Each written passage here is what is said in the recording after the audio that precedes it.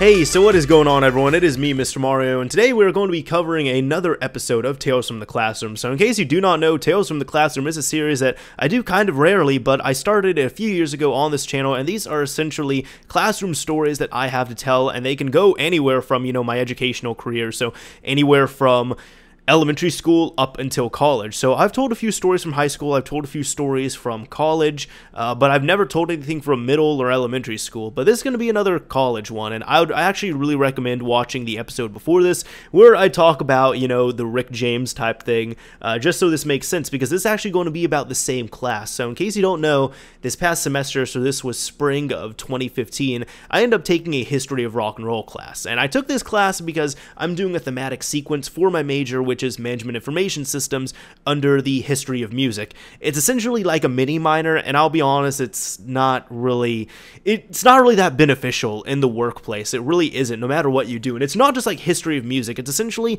a series of three classes that you have to take that all relate to each other to give you this thematic sequence. So you could do a thematic sequence in computer science or biology or psychology, whatever you want to do.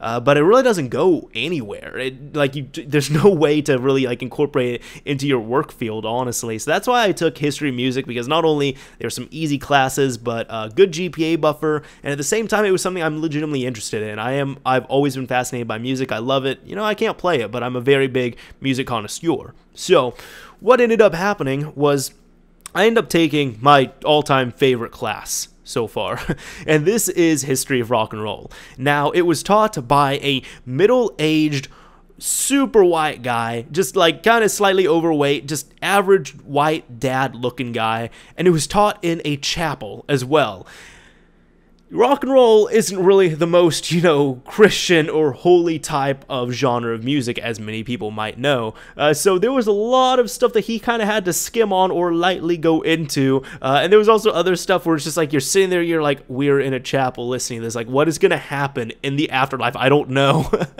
but overall, I mean, it was a really good experience. But just sitting in the chapel, taking this, it, taking this whole class was just it was an experience onto itself. And that even happened with the previous story where, as I said, there was the woman that came in to talk about Rick James. She even had to like correct herself at one point because she said something. And then she was even coming in. She's like, well, you know, at first I was okay talking about this. Then I found out it's going to be in a chapel. So I'm like, I don't know how much I could say about Rick James in a chapel, like under the face of God. but what ended up happening was this was the last day. Now, the last two days of class, we were talking about the history of rap. And this essentially works up from, you know, the beginnings of music up until, you know, the 90s, early 2000s. And it doesn't just cover rock and roll, it covers uh, the blues, it covers rap, hip hop, rock, um, skiffle, I want to say that's another thing, uh, British pop, things like that. Uh, just how everything ties in together because you kind of start learning that everything has either a way of life or a tie back to rock and roll, and even rock and roll has so many ties back to other things. Uh, and one thing I absolutely like, I, I really loved about it as well too, um, is there's you know obviously there's racial stigmas with everything as well. So for example, uh, they said you know after the World War II era and everything once rock and roll was getting really popular, the first like big rock and rollers were not white. They were actually black. They were in the U.S. and this when segregation was going on as well too.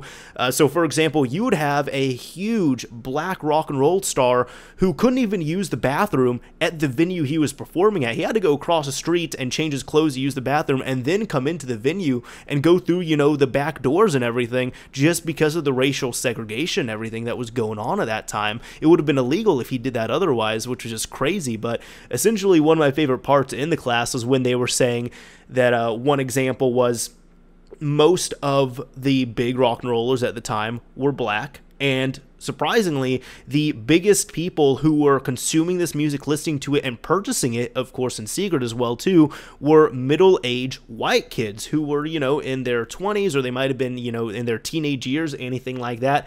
And parents absolutely hated it. And it's funny because this is essentially what's happened with rap as well, too, you know, especially in the 90s, early 2000s, where it was really the exact same thing that was going on, just another genre of music. So it's really interesting to see how history kind of manifests and repeats repeats itself in different areas. And that's another big thing. You know, most people see rock and roll and rock as a black type music, well, white type music. And it's like, no, it actually was sourced and has heavy inspiration from black music and genres and all that. Uh, but that's, you know, a whole nother thing. But I kind of wanted to get into that as well, too, because it's real nice to see. And, you know, if you if you look into it, just look into the history, read about it, and you can educate some real ignorant people about as well, too. but essentially, as I said, this was in a chapel. It was taught by just an average white looking dad. And the best class period I ever had in there, and probably in all my classes I've had, because as I said, this is my all time favorite class, but probably one of my best class periods, if not the best class period, was the last day of class. We were finishing up talking about rock, rap and rock and, you know, hip hop and everything. And then we were going into, you know, the early 2000s, present day, all that. We had to finish some other stuff. So what ends up happening is, as I said, we're in this big chapel. At the front, you have a projector screen, and there's a projector in the back. He had everything running through the sound system. Uh, he had his MacBook hooked up. And then we start talking about, you know, the OGs. So we start talking about East Coast, West Coast. We mostly focused on West Coast rap, but we didn't really talk. He touched up on Biggie and Tupac, but he didn't really talk about it too much just because there was so much stuff to cover. But I was really disappointed by that, honestly. That was one of the disappointments for me in the class just because that was a pretty big thing that happened. Uh, but what ended up happening was he starts talking about Ice T, he's talking about Ice Cube, and then he talks about the NWA. And he had an entire slide dedicated to the NWA. And I'll be honest, because of my race, some people might be okay with me saying the what the acronym is out loud, and others might not. Uh, but I would encourage you look up NWA, like look up the rap group, and he had that completely like spelled out and everything too. He didn't want to say it because there were a lot of black people in the class as well, and people from every single race and ethnicity, so he didn't want to offend anyone. But I'm just sitting there like with this dumb smile on my face, and my jaw just like slightly dropped. I'm like, oh my god, he has it just in front of a few hundred people, just spelled out right there. We're in the middle of this chapel, like learning about this and I was just trying not to crack up the entire time just because of like the sheer irony of everything and how it all just like fit into play. Uh, but what happened was he was talking about the NWA, and then he even said, you know, their first big single was Straight Out of Compton, and he was just like, yeah, so um we're going to be talking about straight out of Compton, and uh, we're going to play a bit of it as well too, because he normally played you know bits of the songs and everything through music videos. He said we're going to be playing a bit of the song, uh, but I, I would I'm just going to say they do cuss quite a lot, and they uh, they like to say the f word. So um, if you're offended by that, just uh, please like cover your ears or something. So he goes on to the next slide and starts playing about a minute and a half of the uncensored version of the Straight Outta Compton music video, which just made me laugh. And I'm just like, I can't believe this is this is my Friday right here. This is perfect. This is on a Friday too, so excellent day as well. But yeah, no, as I said, we had an entire slide about it. And fun fact, if you really look into the NWA and all that, uh, even their first album had uh, it was it was talked about so much just because uh, the FBI actually came uh, like had to observe and look at it, and they want to stop the distribution of it because you know it talked about killing cops and all that other stuff. Uh, so it was a really big album at the time, just in terms of you know uh, the quality and what they were putting into the actual lyrics and what everything was about. So it was really interesting to see, uh, especially like you know with all the controversy and all, and of course you know kids are going to be attracted to all that controversy. But what happens is we end up reading, like we we read about it, we hear the song, he just plays a bit of the music video, and the the class is just like in stunned silence because they're like, "Are we? Can we do this? Like." Is this okay or not?